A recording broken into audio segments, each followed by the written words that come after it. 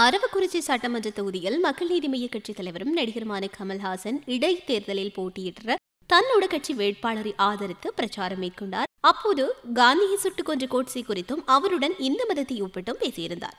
கமலின் இந்த கருத்து பல்வேறு தளங்கள்ல சர்ச்சைகளை ஏற்படுத்தியிருந்தது. இதே நேரத்துல பல தலைவர்கள் இந்து அமைப்புகள் கண்டனங்களையும் தெரிவித்தனர். இதே நேரத்துல பல தலைவர்கள் ஆதரவையும் தெரிவித்தனர். இது தொடர்பில் பல வழக்குகள் பதியப்பட்டு அதற்கு கமல் தரப்புல இருந்து முன் ஜாமீன் மனுவும் கோரப்பட்டது. அதுவும் ஒத்திவைக்கப்பட்டது. நாட்டினுடைய பிரதமரான மோடி கூட இது தொடர்பில் தன்னுடைய எதிர்கருத்தை முன்வைத்திருந்தார். தமிழ்நாட்டில் நடக்கிற எந்த பிரச்சனைக்கும் வாய் திறக்காத மோடி இந்த சர்ச்சைக்கு வாய் திறந்திருக்கிறார் அப்படின்னு சொல்லி மோடி தொடர்புல நெட்டிசன்களும் தங்களோட ஆதங்கங்களை பதிவு செய்திருந்தார்கள். இது தொடர்புல நடிகை கஸ்தூரி தன்னோட ட்விட்டர் பக்கத்துல ஒரு விஷயத்த சொல்லியிருக்காரு.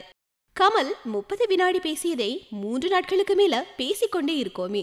பேசியே ஒரு படத்தை சூப்பர் ஹிட் ஆக்கினவங்க. இப்போ கமல் பேசினதை நாடு முழுக்க பிரபலப்படுத்திட்டாங்க. இதை விட அவருக்கு சூப்பர் பிரச்சாரம் அமையுமா? நான் நினைக்கிறேன் நான்கு சட்டமன்ற தொகுதியிலும் நினைச்சதை விட அதிக ஓட்டுகள் வாங்குவார் பாருங்க. நடிகர் கமலுக்கு தன்னோட ஆதரவை தெரிவிக்கும் வகையில ட்விட்டர்ல பதிவிட்டிருக்காங்க. இந்த நேரத்துல மறைமுகமாக பாஜகவையும் கஸ்தூரி சாடி இருக்கிறாங்க அப்படின்றது பார்க்கக்கூடியதா இருக்கு.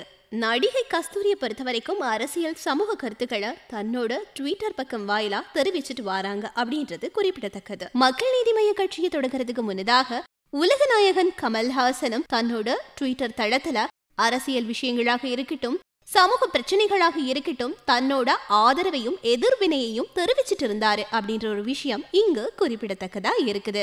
உலகநாயகன் கமல்ஹாசன் தொடர்புல நடிகை கஸ்தூரி சொன்ன கருத்தை பத்தி நீங்க என்ன நினைக்கிறீங்க அப்படின்றத மறக்காம எங்களோட கமெண்ட் பகுதியில பதிவிடுங்க.